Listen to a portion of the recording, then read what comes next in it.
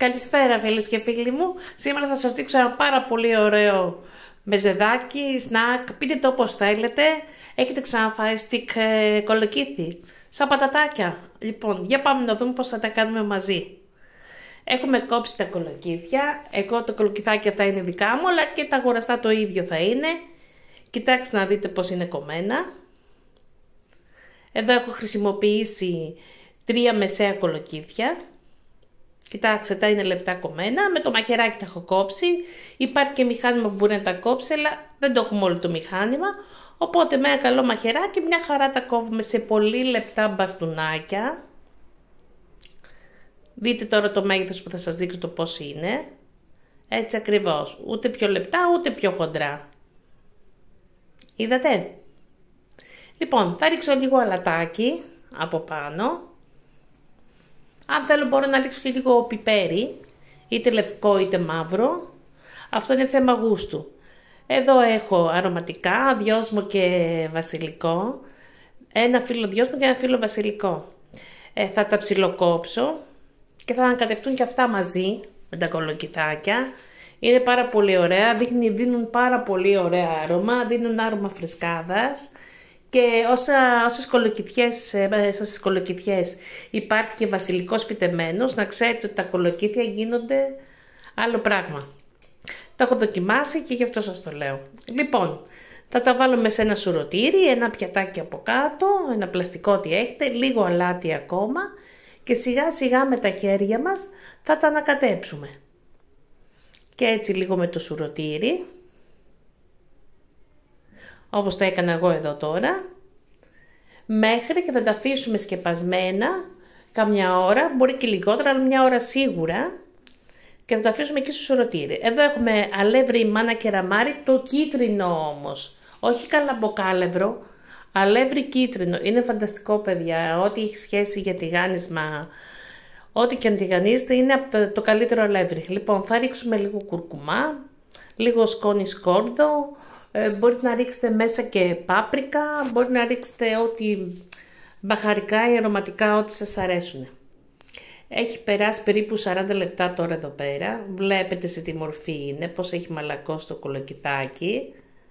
Αυτή είναι η επιτυχία, να μαλακώσει, να αφήσει τα υγρά του. Μπορείτε να τα αφήσετε για παραπάνω ώρες. Μην αγχώνεστε. Δεν παθαίνουν κάτι. Λοιπόν, θα ρίξουμε μια-δυο χούφτες εδώ στο αλεύρι και θα τα αλευρώσουμε καλά. Έχουμε βάλει σε μια κατσαρόλη, σε ένα κατσαρόλι, οτιδήποτε έχετε τηγάνι. Εγώ έχω βάλει ελαιόλαδο, μπορείτε να χρησιμοποιήσετε και καλαμποκέλαιο. Δεν χρειάζεται πάρα πολύ ελαιόλαδο γιατί κοστίζει κιόλας. Οπότε παν μέτρον άριστον.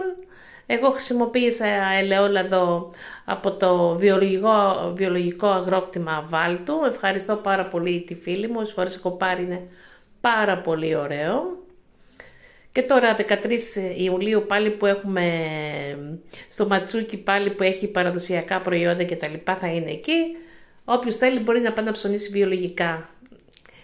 Θα ρίξουμε λοιπόν την, ε, τα κολοκυθάκια μας έτσι, τα έχουμε την άξη είδε στο, στο σύρμα εδώ να μην έχουν αλεύρια και θα τα αφήσουμε να πάρουν χρώμα από τη μία μεριά και θα τα γυρίσουμε μετά από την άλλη, δεν χρειάζεται πάρα πολύ.